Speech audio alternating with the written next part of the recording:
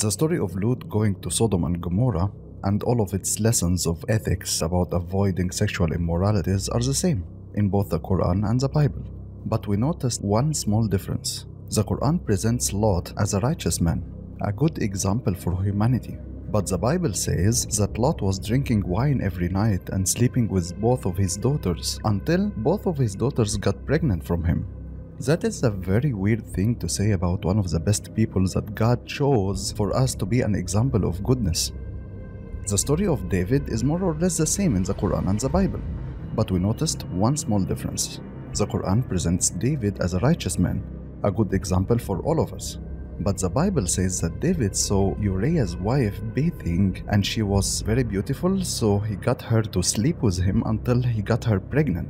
And to cover up for that, he ordered to put Uriah on the front line where the fighting is fierce, then withdrew from him, so he will be struck down to die.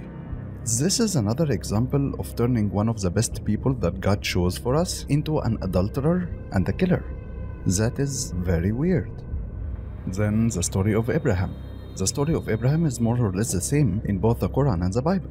But we noticed one small difference. The Quran presents Abraham as a righteous man, a good example for humanity. But the Bible says Abraham committed incest.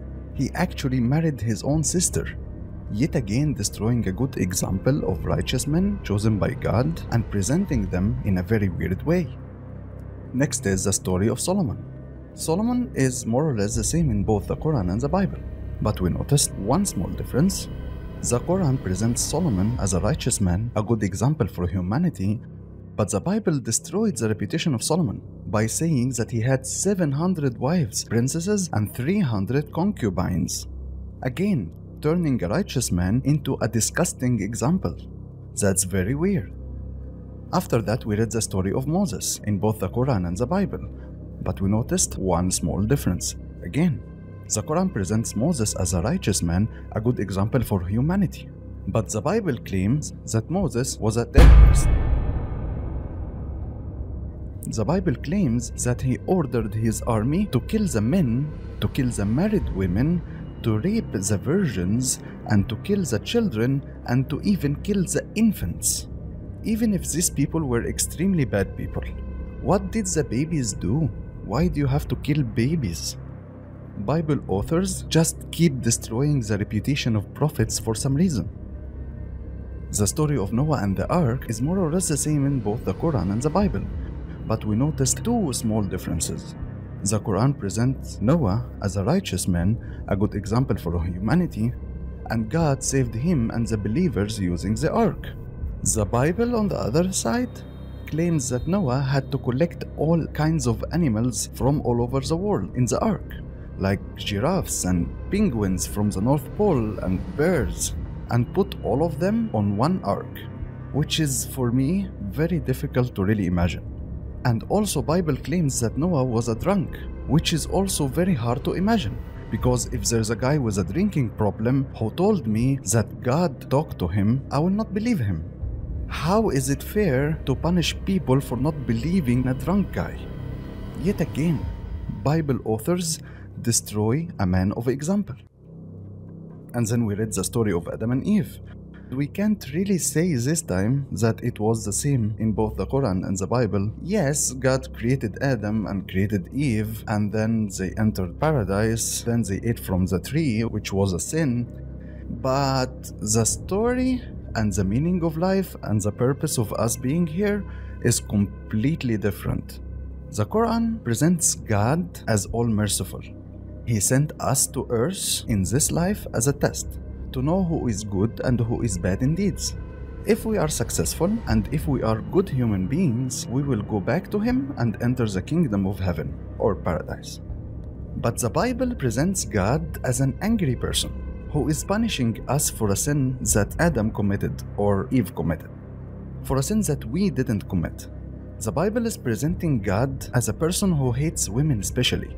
He's making them feel immense pain in birth as a punishment because Eve seduced Adam to eat from the tree or whatever.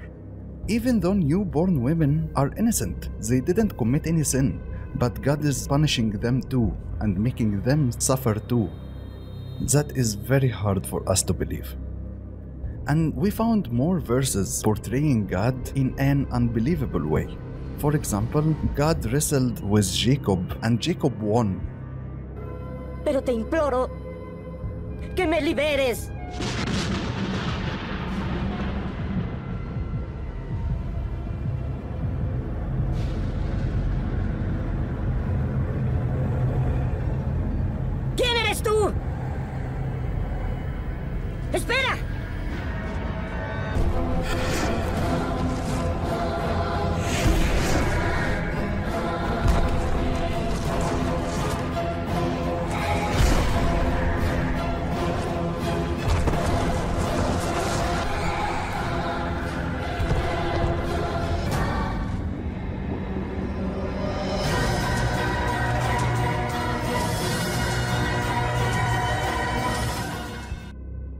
I will not comment on that.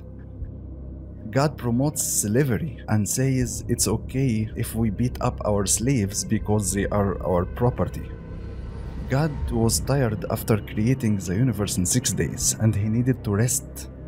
It is very hard for me to imagine that our God needed rest. And all of this pornography in Ezekiel 16, it's not even suitable for YouTube. How can it be suitable for a book that is attributed to God?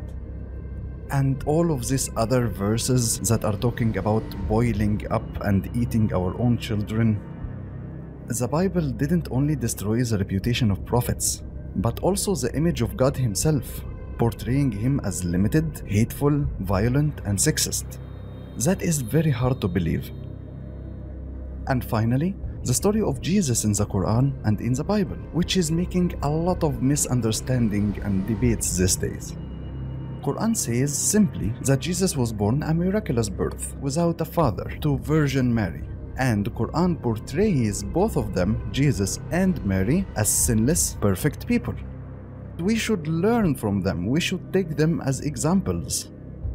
But the Bible has very hard to understand verses about Jesus.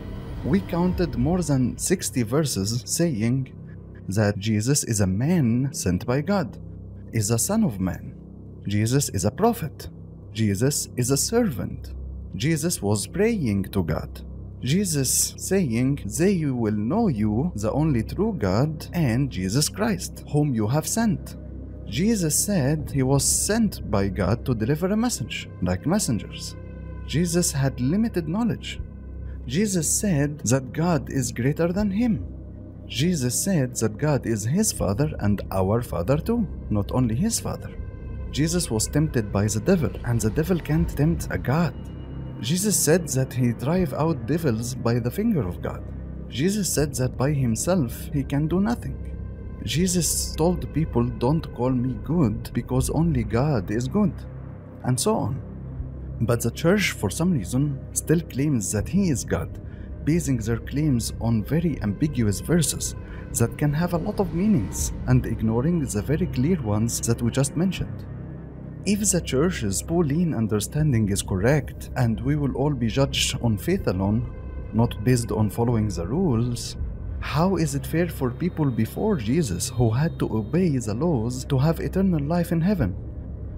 They have to obey the laws to have eternal life, and you just have eternal life because you have faith? How is that fair?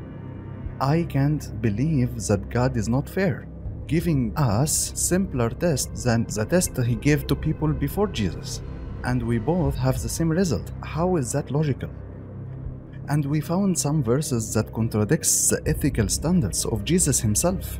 Like for example, Matthew 10:34, "Do not suppose that I have come to bring peace on earth. I did not come to bring peace, but a sword." Sword?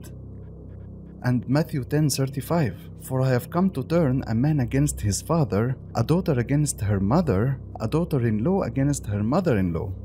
Which is very hard to believe about a perfect person like Jesus. Why does the Bible portray a perfect human like Jesus this way? That's very weird. Even historical event